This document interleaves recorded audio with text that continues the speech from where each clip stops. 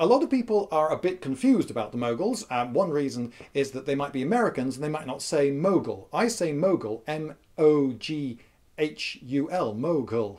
Uh, but I think uh, the internet seems to have decided that the proper spelling is now Mughal, M U G H A L.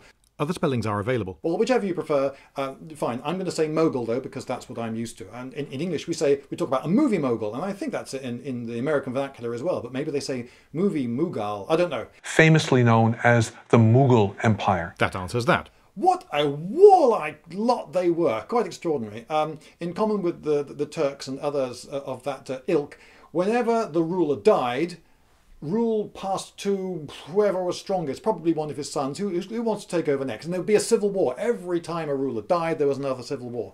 And the various Maharajas and so forth of India were well, before the British arrived and created the Pax Britannica, which was, if you like, a real thing, um, they were fighting each other a huge amount. And one book uh, I read some while ago, uh, I'm not entirely sure what it was basing this on, but it estimated um, that they were spending 85% of their income fighting each other. Yep, they were a very warlike lot. And so uh, obviously they're going to need soldiers, and the soldiers are going to need armour. To see how far they took plated mail, here's an example, a very late example, from the province of Sindh in northwest India.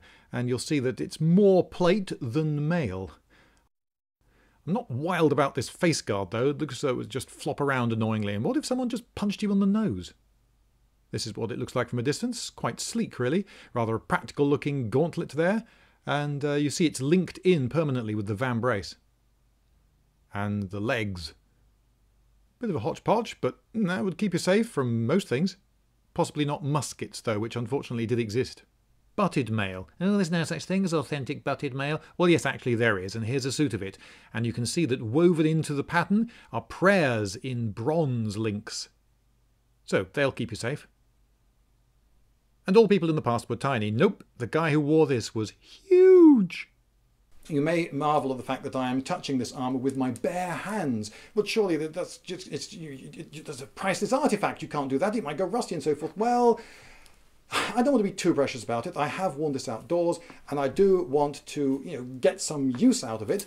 Uh, this particular suit has been used by Mike Loades in some of his videos. If you uh, watch him in one of his uh, horse archery videos, he's galloping along rather impressively uh, wearing this and twanging arrows, though uh, you'll see that he's got the uh, sleeves tied back because the sleeves were way too long for him.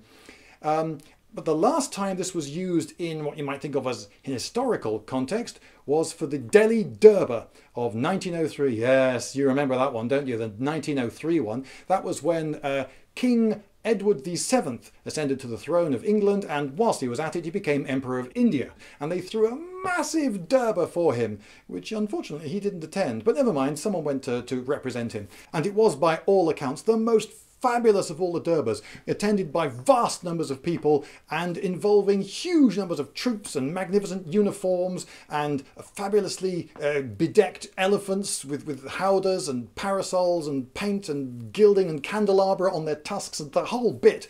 And for that occasion, um, a number of repairs probably were made for this. Here you can see one of the original fittings on the front and lower down you can see that these have been repaired at some point in the past. So that little bit on the end there could be 1903 Delhi Durbar uh, vintage. You'll also notice that this fitting here isn't the same size as the others in the row. So my guess is that that's been taken from another suit of armour and uh, cannibalized and uh, used for repairs. Now I thought it would be instructive if I showed you what the inside of this looked like. Uh, so if I open it up for you, we can see those platelets that go, go down my back. And from the inside, you can see very definitely there isn't mail underneath them. And there are just three rows of mail in between. One row each side linking into the platelets and one row in the middle linking the mail to the mail. Now, a lot of people are bound to be wondering how much this weighs. It's the sort of question that people always ask about armour. Well, um, I got this uh, weighing scale from a, uh, a, shop called Everything's a Pound, and according to it, this weighs about 24 pounds. Uh, but if you don't like that expressed in weight, uh, you can say that it's 11 kilos. Although looking um, at other suits, uh, I'm not always sure if they mean just the hauberk or whether they're adding in other bits, maybe the helmet and so forth. But 13 kilos, 29 pounds seems to be uh, more typically quoted in catalogues for museums and the like. Um, so um, I can definitely feel that I'm wearing it, and I can uh, definitely feel that um, the guy who owned it uh, had smaller shoulders than mine. My shoulders are rather uh, cramped in this. I don't have excellent movement. Um, let's not forget that I'm just wearing a woolen tunic, and he would have had a, probably a thicker padded tunic underneath this, even in the summer heat of India. Now, if I show you some of the very fine mail from the skirt at the bottom, and then take that up and put it next to the mail from the from the chest, you'll see the tremendous contrast there in the two sizes of mail.